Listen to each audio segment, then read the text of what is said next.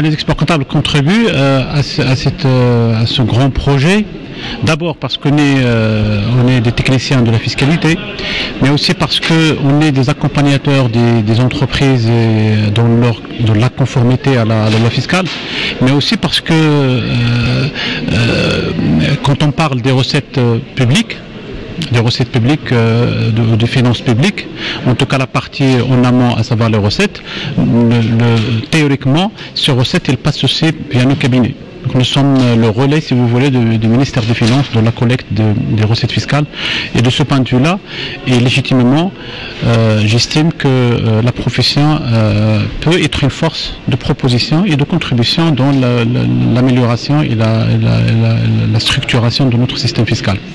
Les contraintes budgétaires, euh, c'est la fonction euh, principale de tout système fiscal, c'est de drainer des ressources, de collecter des ressources, mobiliser les ressources pour euh, financer le- le- l'appareil étatique. Quel est le lien avec l'équité? Parce qu'également, parmi les fonctions de ce, système fiscal, c'est de permettre justement une redistribution des richesses et des revenus. Et parce que c'est la troisième fonction, c'est également un outil aussi de déclinaison de, de l'action gouvernementale sur le plan économique et sur le plan social. Et l'équité, il est au centre. Parce que de toute façon, aujourd'hui, euh, l'objectif ultime des assises, c'est de construire un système fiscal où tous les contribuables, euh, contribuables euh, sont que sont traités de la même manière, à situation égale, emploi égal, comme j'ai toujours l'habitude de, de- toujours l'habitude de dire, et que dans tout le processus, que le, contribuable soit traité et leur doléance soit traitée et euh, leur contribution euh, soit appréhendée de manière équitable. Donc là, l'équité, c'est au centre, si vous voulez. Donc, quel que soit le, quel que soit le, niveau de, de réflexion, vous allez trouver que la question d'équité se pose. Quand on parle, par exemple, des incitations fiscales, la question d'équité se pose. Est-ce que ces incitations euh, sont justifiées? Est-ce qu'elles permettent d'atteindre leur objectif initial Est-ce qu'on en fait une évaluation euh, euh, périodique euh, qui permet de dire est-ce que est-ce qu'elles sont pertinentes ou pas? Tout ça, on peut le voir d'un œil d'équité. Les régimes d'imposition, imposition forfaitaire versus imposition via via, via une base réelle,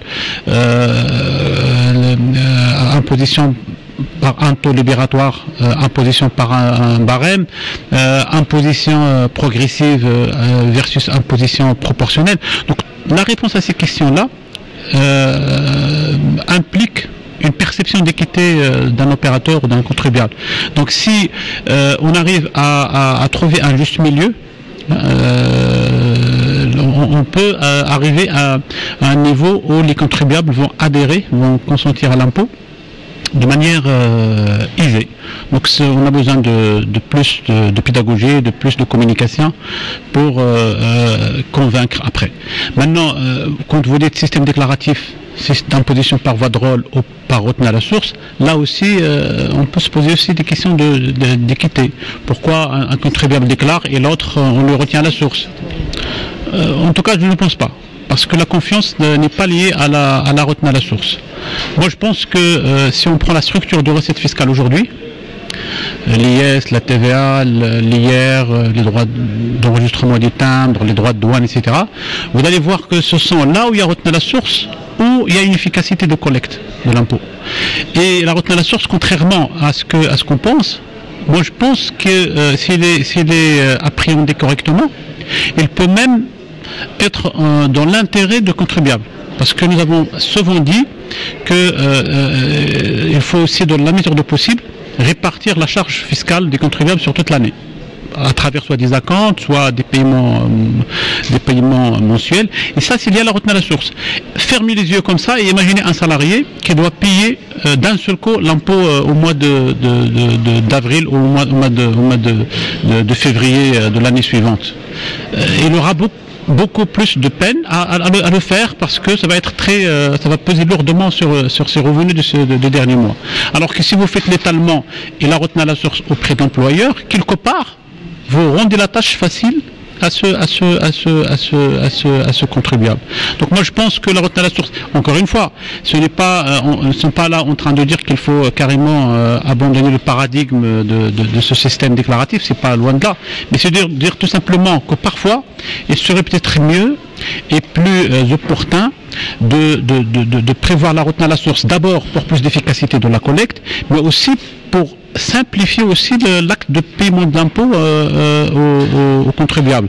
Je rappelle que euh, l'international, par exemple pour le domaine business, on prend aussi le nombre de jours hein, au nombre d'heures que passe un contribuable pour se conformer euh, et faire toutes les obligations déclaratives.